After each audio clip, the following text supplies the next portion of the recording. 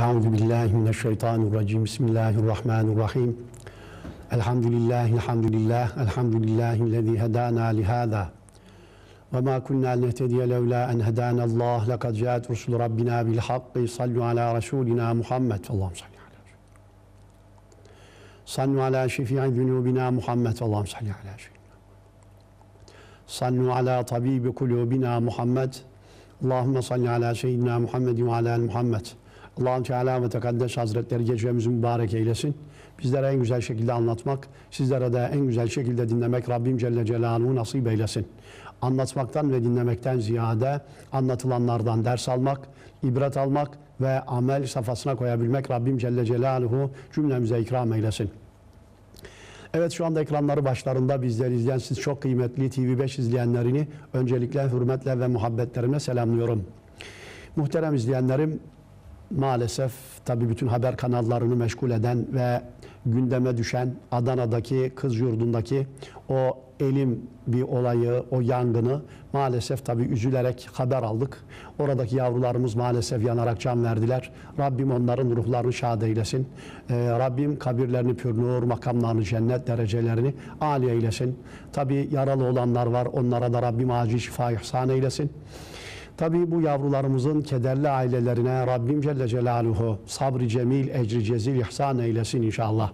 E bu arada tabii yine böyle olayları en ufak bir meselede hemen fırsat bu fırsat deyip cemaatlere saldıranlara da yine böyle elin bir olayı efendim istismar ederek siyaset malzemesi yapanlara ve madımak benzetmesi yapanlara da yazıklar olsun.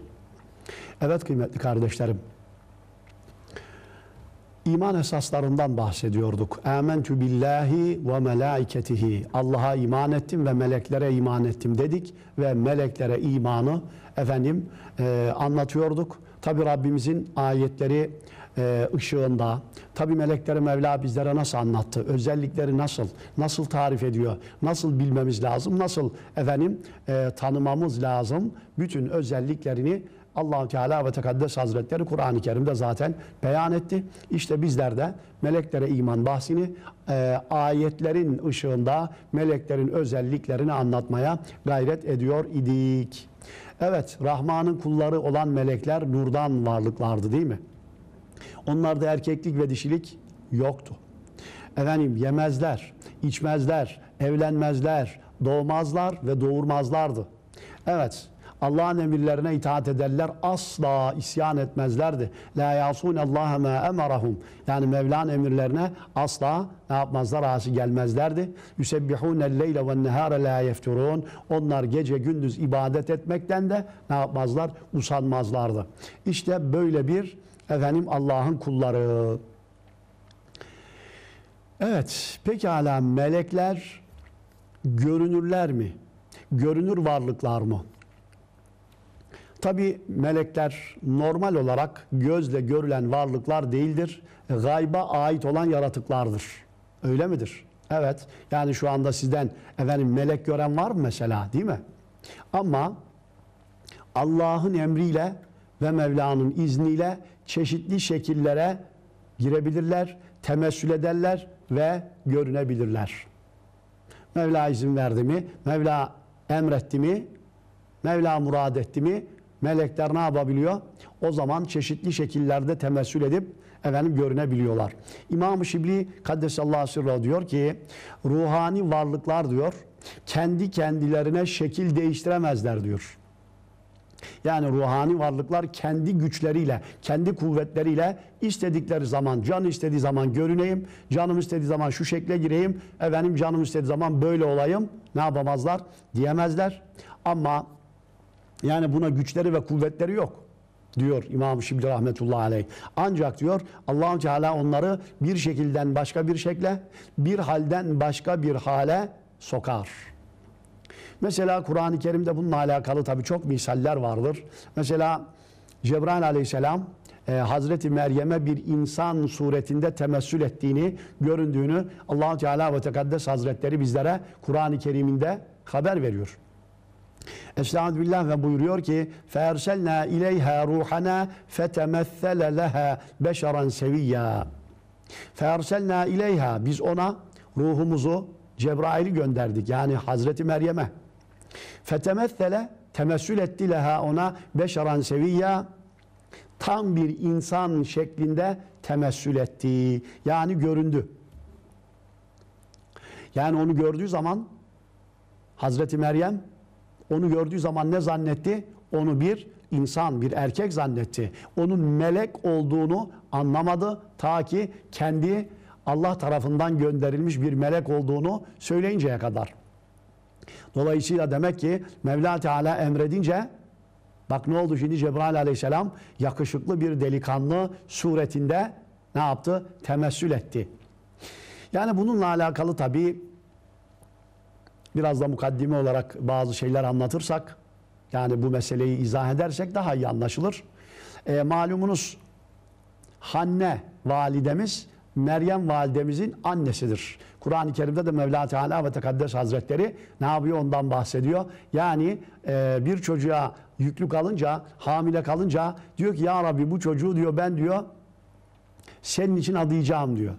Mescid-i Aksa'ya efendim hizmet için, ibadet için, Allah için adayacağım diyor. Tabi sonradan doğunca bir de bakıyor ki kız üzülüyor. Ben bunu erkek zannetmiştim ama kız oldu. Mevla da buyuruyor ki senin istediğin erkek Allah'ın verdiği kızdan hayırlıdır.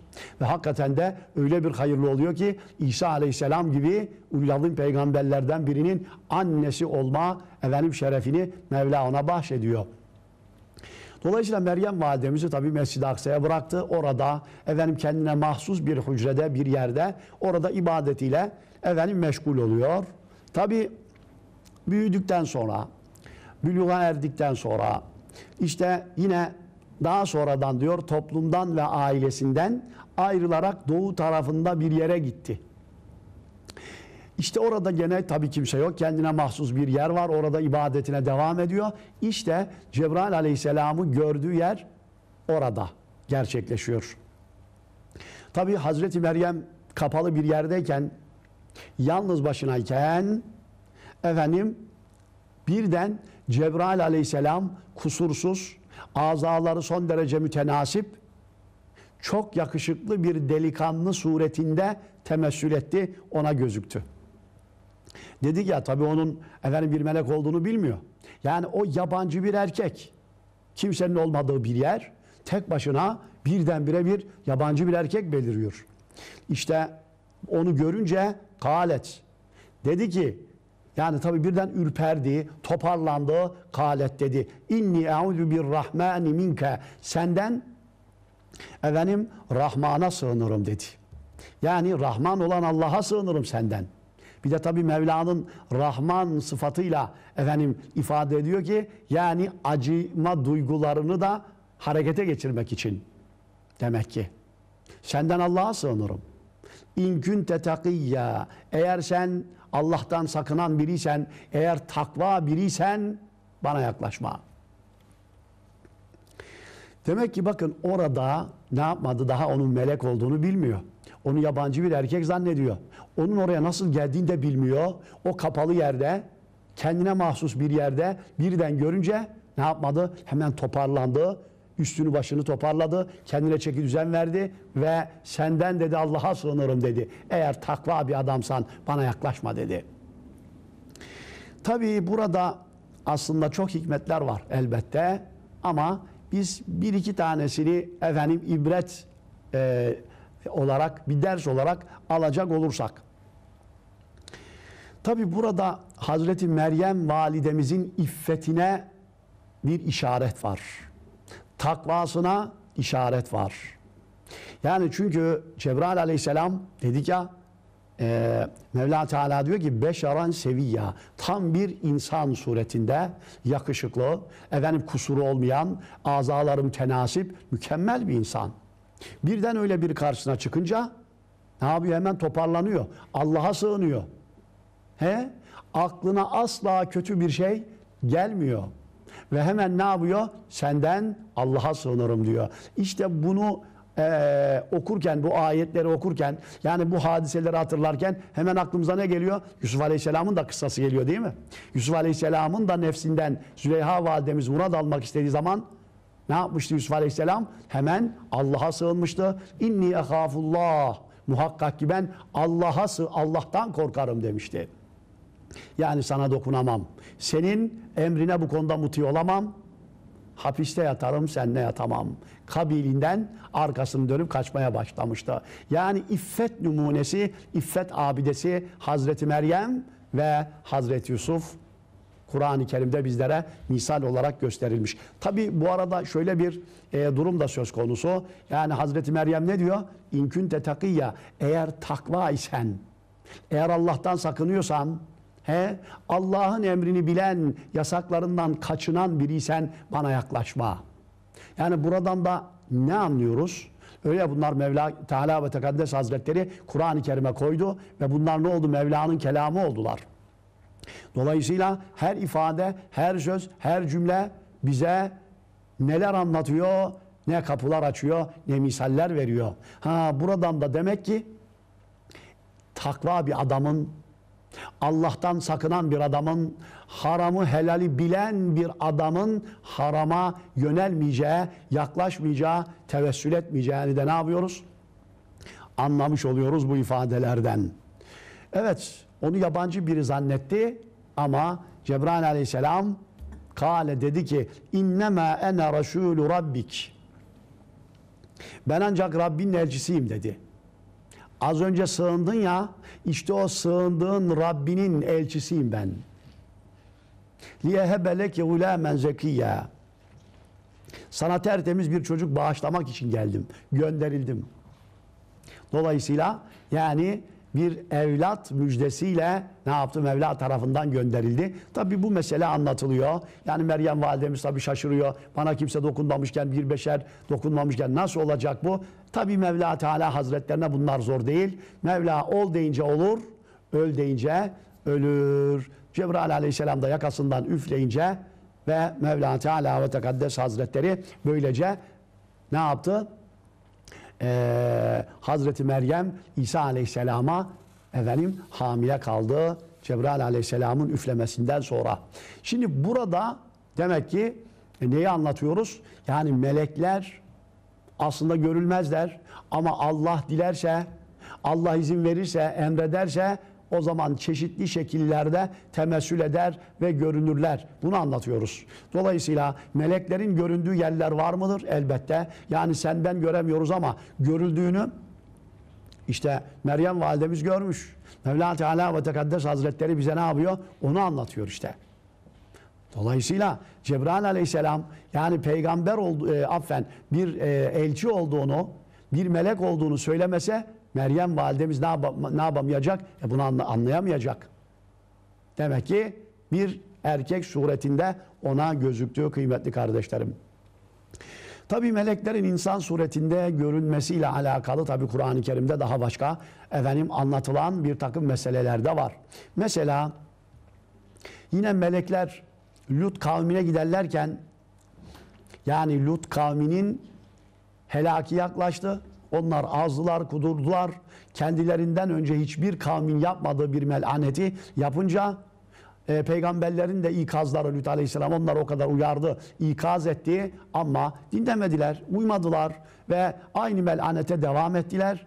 E bu sefer tabi artık adap vakti geldi.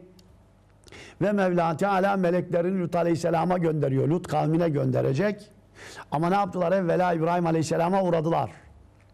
Yani evvelce Efendimiz sallallahu aleyhi ve sellem'den önce aynı anda birkaç peygamber olabiliyordu. Öyle peygamberler var efendim bir şehre gönderilmiştir. Öyle peygamberler var bir kariyeye veya bir köye. Hatta efendim bir tane iki tane ümmeti olan peygamber var. Ama tabi Efendimiz sallallahu aleyhi ve sellem insü cinnin peygamberidir. Peygamberlerin efendim sonuncusudur ve kıyamete kadar gelecek olan bütün insü cinnin peygamberidir Efendimiz sallallahu aleyhi ve sellem. Ve ondan sonra da peygamber gelmeyecektir. Ama bakın orada İbrahim Aleyhisselam var ve Lut Aleyhisselam da o anda daha tebliğ ve davet görevine devam ediyor. Önce tabii İbrahim Aleyhisselam'a uğradılar ve onu tabii evlatla müjdelediler. İbrahim Aleyhisselam tabii onları gördü. Üç tane genç geldi, delikanlı geldi. Ama onların melek olduklarını bilmiyor daha bakın henüz. allah Teala ve Tekaddes Hazretleri Kur'an-ı Kerim'de bizlere bunu şöyle anlatıyor. Estağfirullah. Ve lekad ca'et rusuluna İbrahim'e bil büşra. Andolsun ki elçilerimiz yani melekler İbrahim Aleyhisselam'a müjdeyle geldiler. Kalu dediler ki selama. Sana selam olsun. Yani selamu aleyküm. Allah'ın selamı üzerine olsun. Kale selam. İbrahim Aleyhisselam da selamlarını aldı. Fema lebite en ca'e bi'iclin haniz ve onlara kızartılmış bir buzağı getirdi hemen. Yani İbrahim Aleyhisselam malumunuz hani Halil İbrahim sofraları günümüzde de Halil İbrahim sofrası dendiği zaman aklımıza ne geliyor? Yani kuş sütü, kuru üzüm, efendim e, her şeyin olduğu bir sofra geliyor ya akla. İşte bu aslında e, İbrahim Aleyhisselam'dan kalmadır. Ve İbrahim Aleyhisselam hakikaten onun öyle bir sofraları vardı ki zaten ömründe misafirsiz yemek yememiş. Ömründe misafirsiz yemek yememiş. Yani bakar misafir gelirse oturur yemek yer. Eğer misafir bulamazsa he, ne yapar? Efendim mesela bir kilometre güneye, bir kilometre kuzeye, efendim batıya doğuya gider bakar misafir arar bulursa getirir beraber oturur yemeğini yer ama misafir bulamazsa tek başına yemek yediği vaki değil. Ne yapıyor peki hoca efendi? O gün niyet ediyor, o gün oruç tutuyor. Dolayısıyla İbrahim Aleyhisselam hazır misafirleri gelmiş. Hemen onlara bir sofra donattı. Efendim yiyecekler koydu. Envai çeşit ve hemen gitti. Bir tane buzak kesti. Onu da güzelce kızarttı. Götürdü önlerine koydu. Şimdi burada tabi İbrahim Aleyhisselam melek olduklarını bilmiyor. Eğer melek olduğunu bilse ne yapar? E onlara yemek hazırlar mı? Önlerine sofra koyar mı? Koymaz. Niçin? E çünkü e, melekler yemezler, içmezler. Yani bu gibi e, beşeri özellikler onlarda yok. E onun için madem yemiyorlar, içmiyorlar, e onların önüne sofra koymanın da bir manası yok. Zaten buradan da anlaşılıyor ki İbrahim Aleyhisselam onları efendim melek olduğunu bilmiyor. Ama bak yani Mevla melekleri ne yaptı? İnsan suretinde gönderdi. Ha peygamberler elbette melekleri görür mü? Tabii ki Cebrail Aleyhisselam. Bir rivayet 124 bin peygamber, bir rivayet 224 bin peygamber gelmiş. Tabi esas sayısını Allah bilir. Onların hepsine ne yaptı? Allah'tan vahiy getirdi mi? Evet. E demek bütün peygamberlere geldi. Bütün peygamberlerle görüştü zaten. Ha, ama burada neden bahsediyoruz? Değişik şekillerde görünebilme meselesini anlatıyoruz. Yani burada insan suretinde gelmişler. Ve daha İbrahim Aleyhisselam onların peygamber olduğunu bilmiyor. Ama onlar da tabii yemeğe el uzatmayınca oturuyorlar. Yemek yemiyorlar. Efendim getirdiği ete el uzatmıyorlar. Efendim sofraya dokunmuyorlar. Tabii bunun üzerine İbrahim Aleyhisselam'ın içerisinde az da olsa bir korku belirdi. Yani öyle şimdi hani baştan selam verdiler. Selamun aleyküm. Yani selam verdiği zaman aslında ona ne yapıyorsun? Dua ediyorsun. Allah'ın selamı üzerine olsun. Dünya efendim e, meşakkatlerinden, sıkıntılarından kurtuluş üzerine olsun diye adeta dua ediyorsun ve bana senden zarar gelmez demek istiyorsun. E, selam da verdiniz, selam da aldık. Önce selam sonra kelam ama tam yemiyorsunuz. Yani acaba art niyetli birileri mi?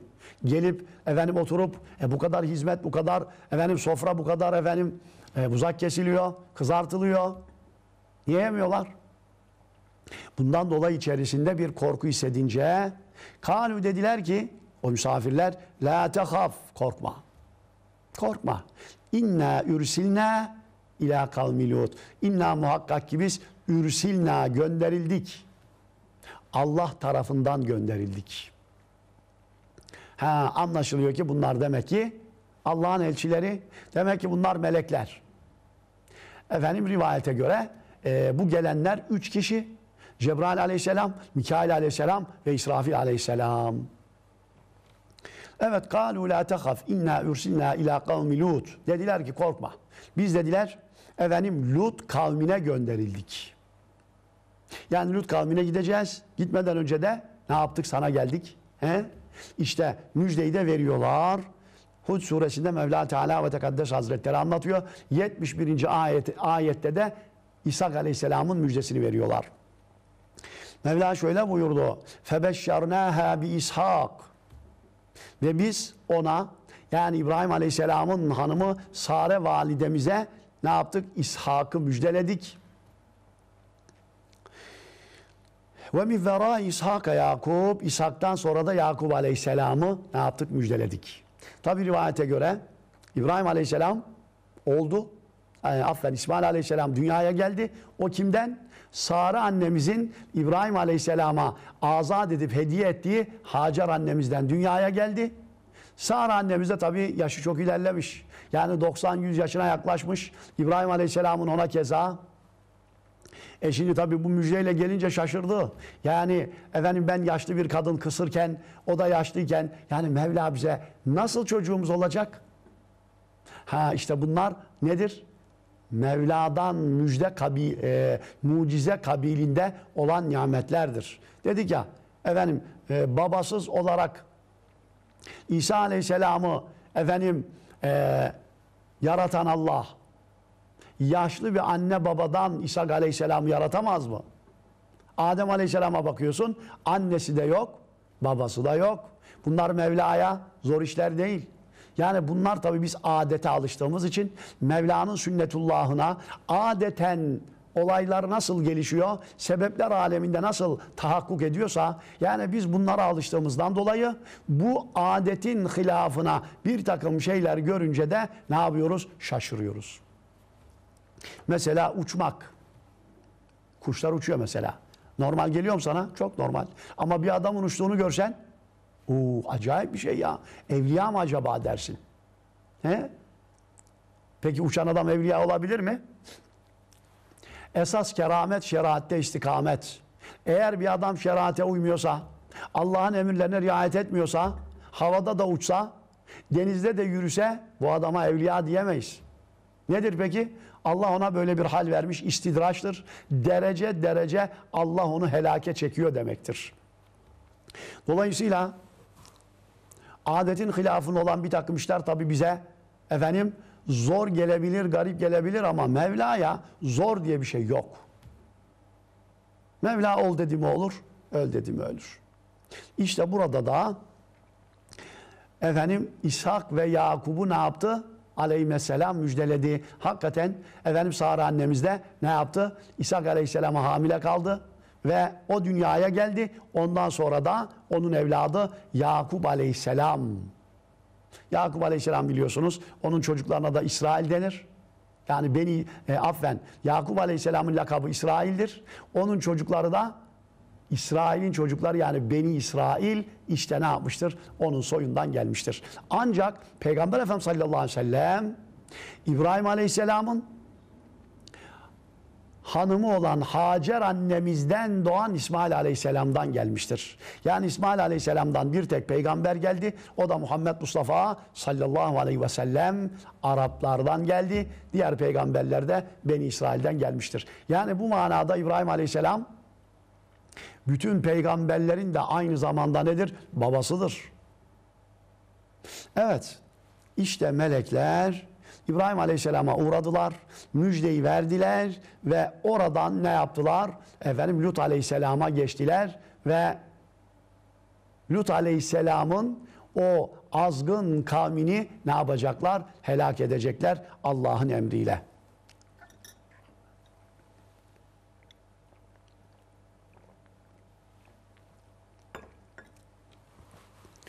Bu meseleyi tabi allah Teala ve Tekaddes Hazretleri Kur'an-ı Kerim'de bizlere şöyle anlatıyor Estağfirullah.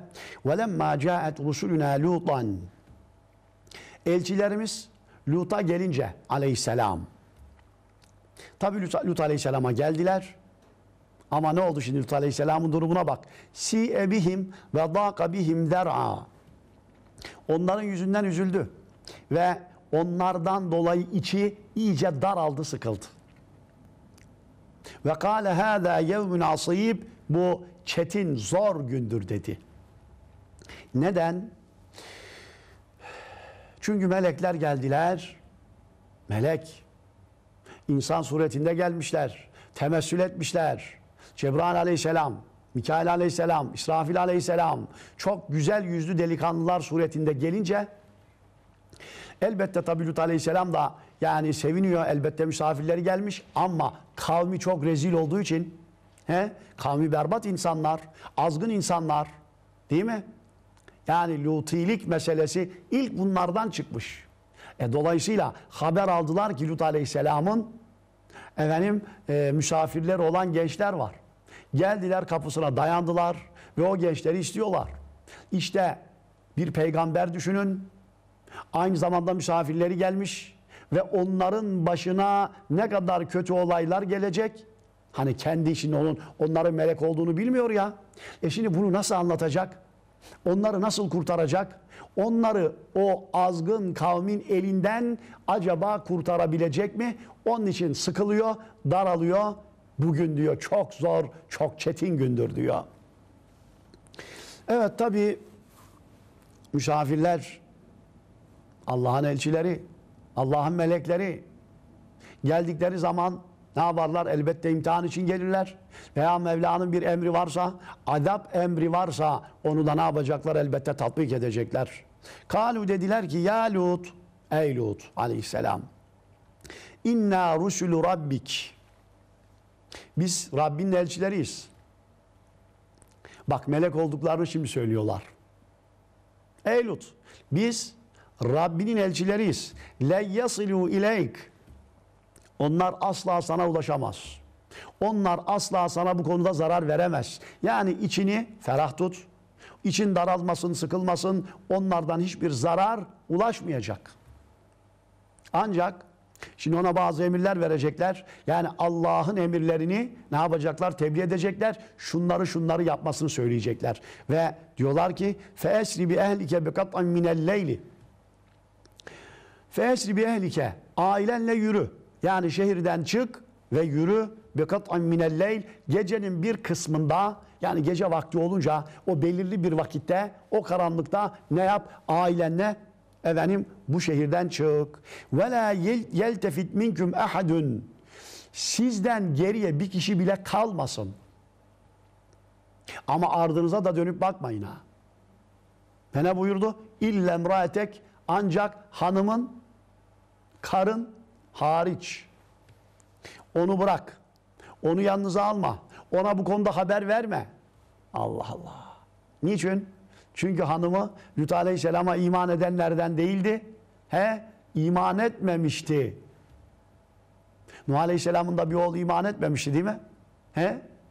Evlatlarından üç tanesi gemiye bindi ama bir tanesi ne yapmadı? İman etmedi ve helak oldu gitti. Allah Kur'an'da ne misaller vermiş. Ya Firavun'un hanımını misal vermiş. imanla gitti. Firavun gibi bir kafir, ben sizin en büyük Rabbinizim diyen bir kafirin hanımı adeta efendim cehennem hemen yanı başındayken ne yaptı? Musa Aleyhisselam'a iman etti ve cenneti buldu.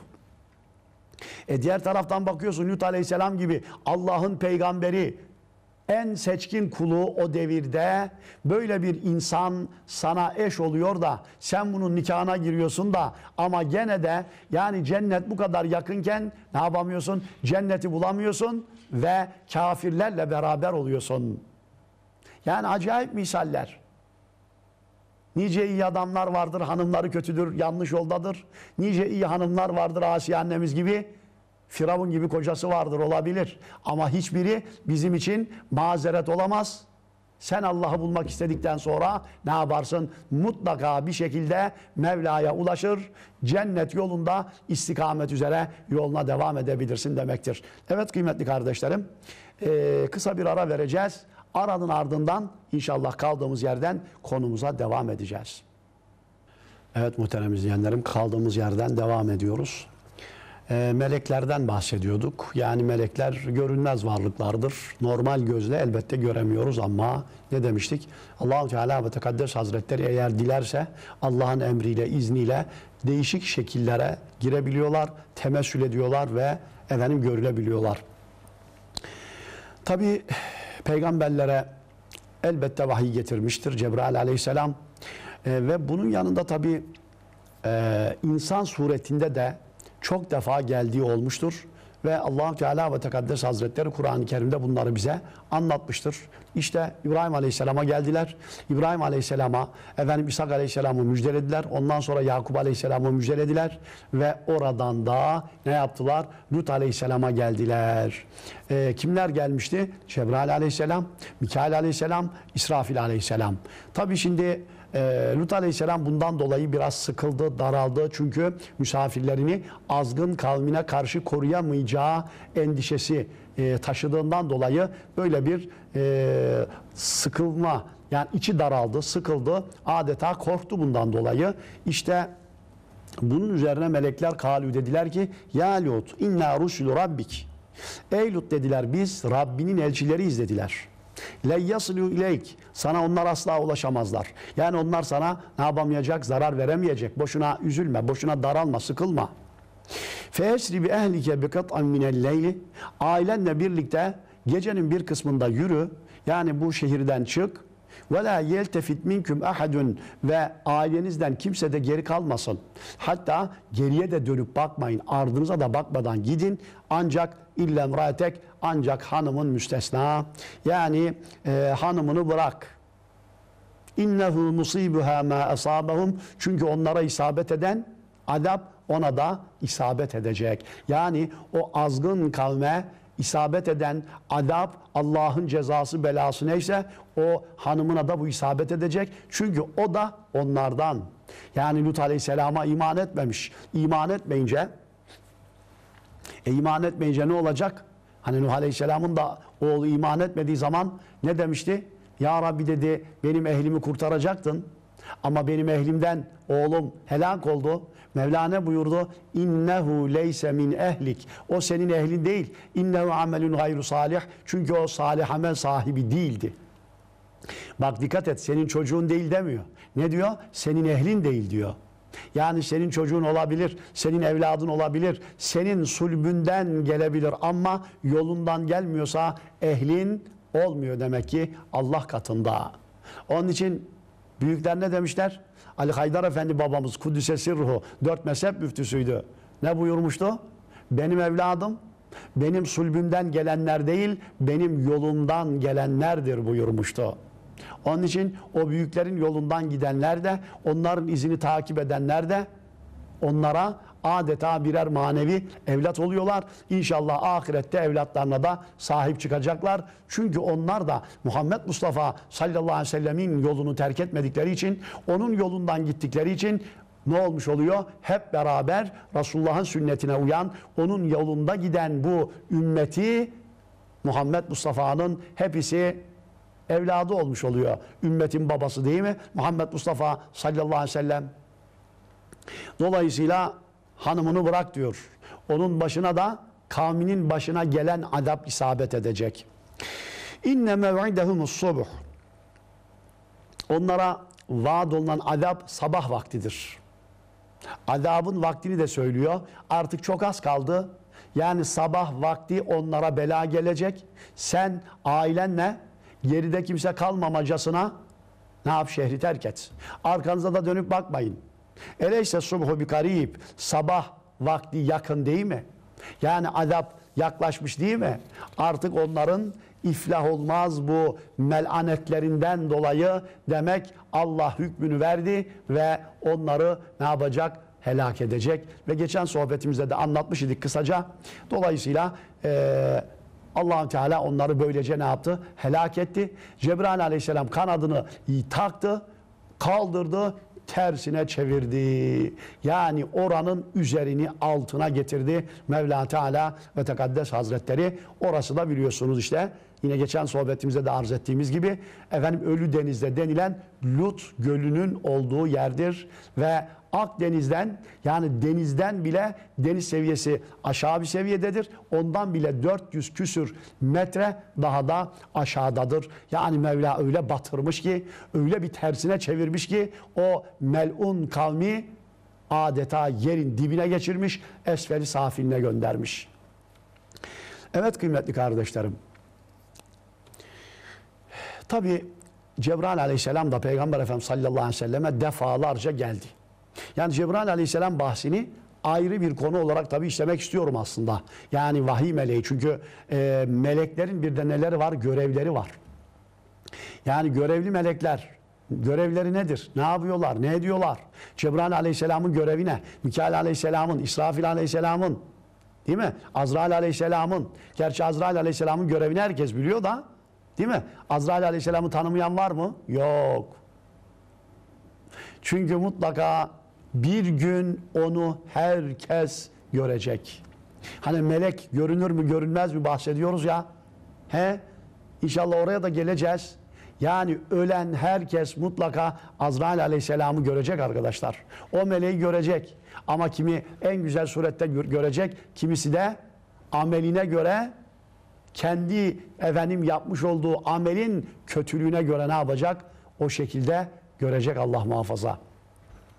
Dolayısıyla Cebrail aleyhisselam da mesela işte 24 bin defa Efendimiz sallallahu aleyhi ve selleme geldiği rivayet edilir. Yani Efendimiz sallallahu aleyhi ve sellem tabi onu asıl suretiyle ne yapmıştı? İki defa görmüş idi. Birisi Hira mağarasındaydı. Birisi de Sidretül Münteha'da miraca çıkarken. Evet tabi Cebrail aleyhisselam Efendimiz sallallahu aleyhi ve selleme geldiği zaman yani neyi anlatıyoruz Efendimiz sallallahu aleyhi ve sellem tabi zaten görüyor da ashabından da Cebrail aleyhisselamı görenler oldu. Ama hangi surette gördü? Mesela Cebrail aleyhisselam Efendimiz sallallahu aleyhi ve selleme bazen Dahyetül Kelbi radıyallahu anh suretinde gelirdi. Ashabın en güzel yüzlü kimselerinden biri. Tabi Efendimiz sallallahu aleyhi ve sellem onu elçi olarak da gönderdi. Hatta Bizans imparatoruna he, o İslam'ı davet mektubunu götüren Dahyetül Kelbi'dir radıyallahu anh. Ve tabi Dahyetül Kelbi radıyallahu anh, Hasan Hüseyin radıyallahu anh da çok severdi. Yani Efendimiz sallallahu aleyhi ve sellemin torunları cennet gençlerinin o seyitlerini çok severdi.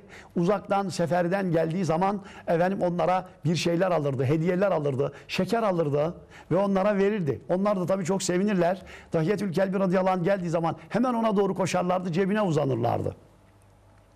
Ha şimdi Cebrail aleyhisselam da bazen Dahyetül Kelbi radıyallahu anh suretinde geliyor ya. Yine bir gün Dahye'nin radıyallahu anh'ın suretinde geldi. İçeri girdi. İçeri girince bak Hasan Hüseyin radıyallahu anh hemen ona doğru koştular. Yani onlara da ne yaptı? Gözüktü. O şekilde temessül etti. Allah'ın izniyle emriyle. Tabi Hasan Hüseyin radıyallahu anh geldiler.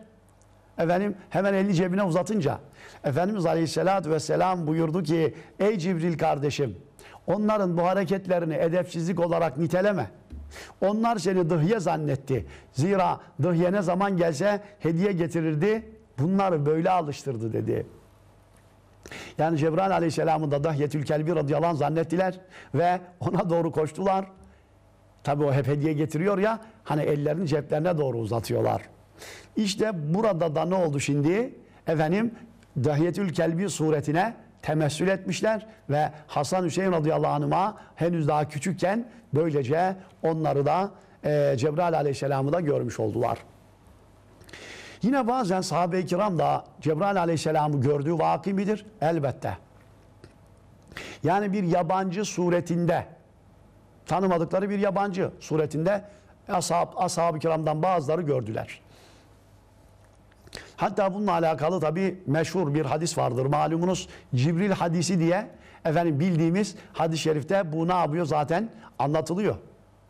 Ee, bu hadisi rivayet eden bize nakleden e, Ömer İbnül Hattab radıyallahu anh. Bakın diyor ki An Ömer İbnül Hattab radıyallahu anh kale beynema nahnu inde Resulullah sallallahu aleyhi ve selleme zâte yevmin. Bir gün Resulullah sallallahu aleyhi ve sellem ile beraber bulunduğumuz bir gün İz tala aleyna raculun aniden yanımıza bir adam çıka geldi. Bir yabancı geldi. Aniden duruyoruz Peygamber Efendimiz sallallahu aleyhi ve sellemle beraberiz. Biri geldi. Şedidü beyazı thiyab. Elbisesi bembeyaz. Yani beyazı çok şiddetli. Bembeyaz bir elbisesi var üzerinde. Şedidü sevadi şahr. Saçı da simsiyah. La yura aleyhi etheru sefer. Üzerinde de yolculuk eseri emaresi yok. Gözükmüyor. Çünkü yani o gün bugün gibi değil. Yollar ona göre. Bugün arabası var, otobüsü var. Kendi özel arabanla gelirsin. Hava yağmurlu bile olsa. Değil mi? Yollar çamurlu bile olsa kapıya kadar gelir yanaşırsın. Hiç ıslanmadan yol emaresi, yorgunluğu gözükmeden ne yapabilirsin? Misafir geldiğin yere girebilirsin. Ama o gün öyle değil ki. Yani bir yolcuysan değil mi? Ya at üzerinde ya deve üzerinde geleceksin. Ya efendime söyleyeyim yürüyerek geleceksin. Ama elbise bembeyaz. Bir tane leke yok, toz yok. Saç simsiyah. Yani dağılmamış saç, baş birbirine karışmamış. Düzenli, nizam ve intizam içerisinde. Dolayısıyla üzerinde bir sefer eseri yok. Ve la ya'rifuhu minna ahadun bizden de kendisini tanıyan kimse yok. Hani diyeceksin ki belki evi yakındır. Hemen belki arka taraftadır ama tanıyan kimse yok. Hani orada otursa oranın komşularını herkes birbirine yapar, tanır, bilir ama onu içimizden tanıyan kimse de yok. İşte böyle bir zat birden yanımıza geldi. Hatta celese ilen, e, ilen nebi sallallahu aleyhi ve sellem Efendimiz sallallahu aleyhi ve selleme geldi, oturdu. Fe esnede rukbeteyhi ila rukbeteyh.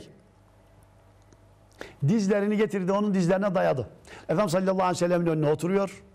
Dizlerini dizine dayıyor. Ve veda keffeyi ala fakideyhi ve ellerinde uyluklarına koyuyor. Ve kale dedi ki ya Muhammed sallallahu aleyhi ve sellem ehbirni anil İslam bana İslam'dan haber ver. Bana İslam'ı anlat. Ve sordu. İslam'dan sordu. imandan sordu. ihsandan sordu. Kıyamet alametlerinden sordu. Efendimiz sallallahu aleyhi ve sellem tabi cevaplar veriyor. Ve ne yapıyor? Tasdik ediyor. Sadakte. Doğru söyledin diyor. Ee, Ömer radıyallahu anh diyor ki bilmez gibi sordu. Bilir gibi tasdik etti. Ve tabii sorularını sordu. Sonra kalktı gitti. Efendimiz sallallahu aleyhi ve sellem buyurdu ki ya Ömer o soru soran zatın kim olduğunu biliyor musun? Allah ve Resulü bilir dedim diyor. Bunun üzerine Efendimiz sallallahu aleyhi ve sellem buyurdu ki o Cibril idi size dininizi öğretmeye gelmişti. Bukhari'de ve Müslim'de geçen hadis-i şerif meşhur Cibril hadisi. İşte orada da Efendimiz sallallahu aleyhi ve sellem ne diyor bakın? O diyor Cebrail idi diyor aleyhisselam. Ama nasıl geldi? Aslında melekler nasıldı? Nurdan varlıklardı değil mi? Nurdan varlıklar. Nurdan yaratılmışlar. Ama orada bir yabancı suretinde. Elbisesini tarif ediyor, saçını tarif ediyor. He? Üzerinde efendim bir e, sefer eseri olmadığından bahsediyor. Ha. Ama kimmiş? Cebrail aleyhisselam. Demek ki bazen sahabe-i kirama da melekler gözüktüler. Yani gözüktüğü yerler, meleklerin göründüğü yerler var demek ki.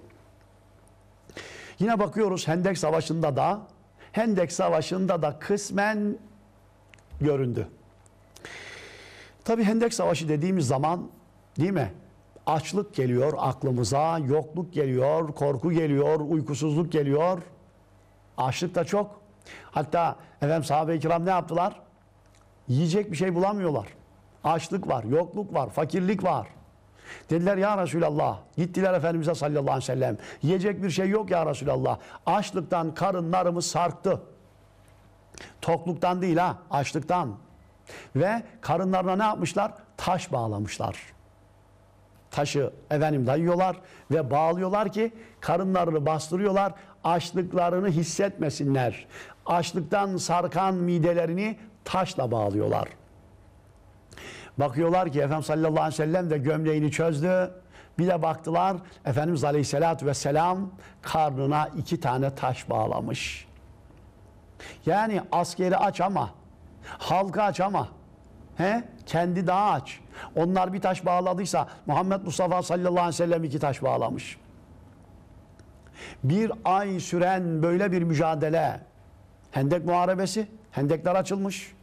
En dar yerlerden geçit bulmaya çalışıyorlar müşrikler. Karşıya atlamaya çalışıyorlar. Yani göğüs göğüse mücadelenin sıcak harbin yapıldığı böyle bir çatışma. Hatta o kadar ki Efendimiz sallallahu aleyhi ve sellem üç vakit namazı kaza yapmak zorunda kaldı. Öyle bir mücadele var ki he, vakit bulamıyor namaz kılmaya. Ne yapacaksın?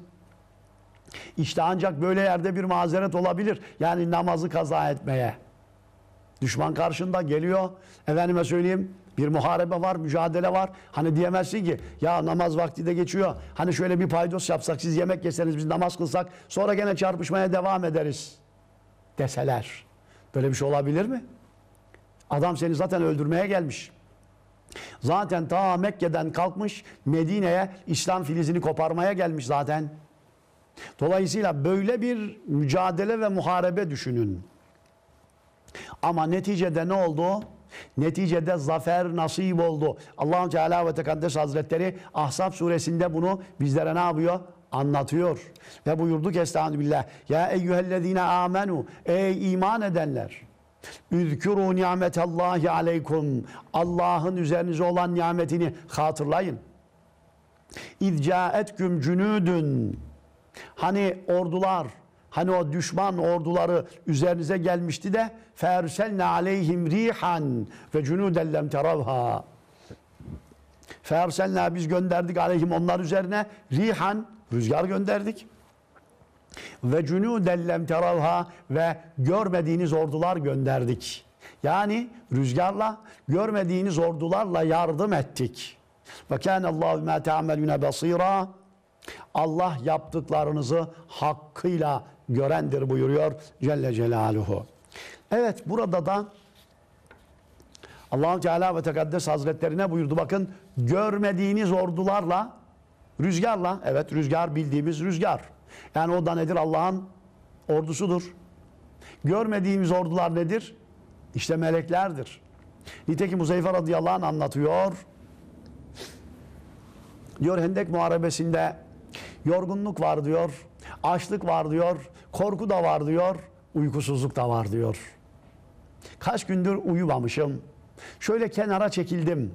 Kendi kendime dedim ki bana bir müddet kimse dokunmasa da oturduğum yerde şurada şöyle uyusam uykusuzluğumu gidersem diye düşünürken Allah sevgilisi buyurdu ki düşman saflarında bir kıpırdanma görüyorum.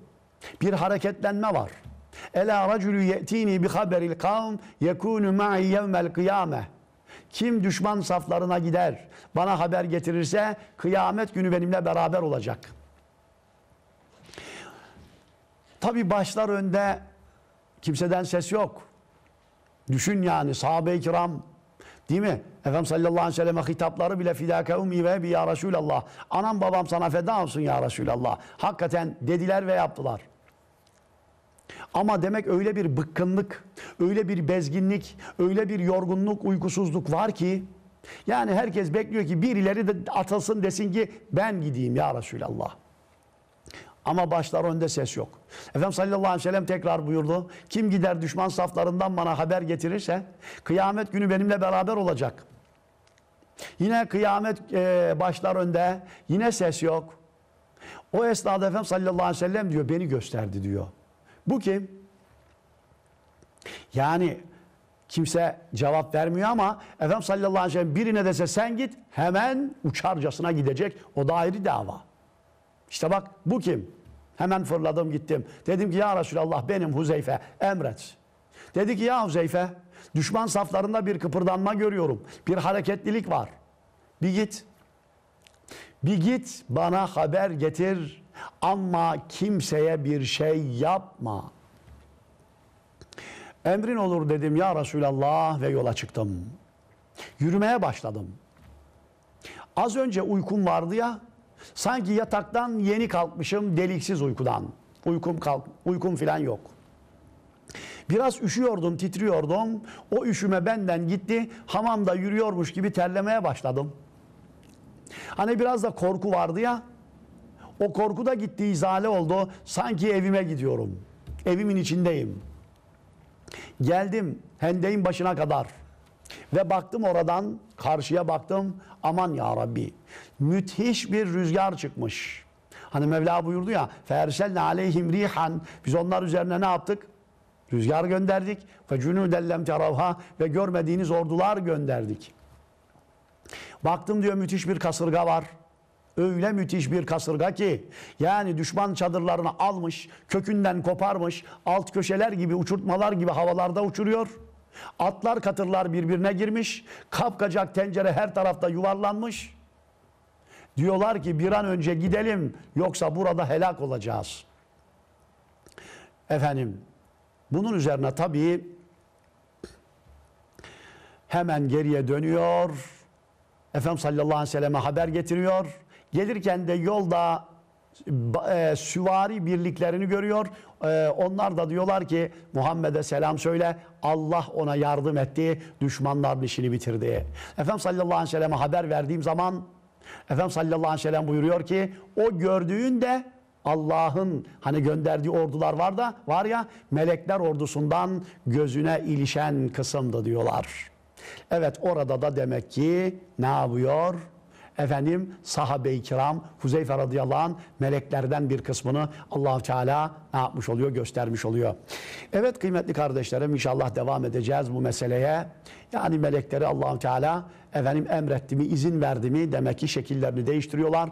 Yani temessül ederek insan suretinde gözüktüğü durumlar, e, olaylar, efendim e, pek çok hadiseler var. İnşallah bunlara devam edeceğiz. Ama vaktimiz doldu. Biraz da açtık.